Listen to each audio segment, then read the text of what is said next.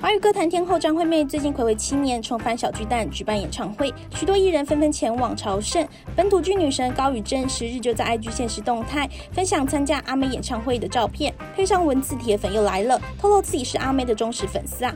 有趣的是，她还晒出一张自拍照，自嘲是一支荧光棒本人。只见她戴着口罩，放下一头飘逸长发，身穿印有荧光花纹的外套。由于演唱会现场灯光的关系，让他外套上的橘色荧光点点变得更加明显。超逗趣的照片令大批网友全都笑翻，直呼他真的太可爱啦。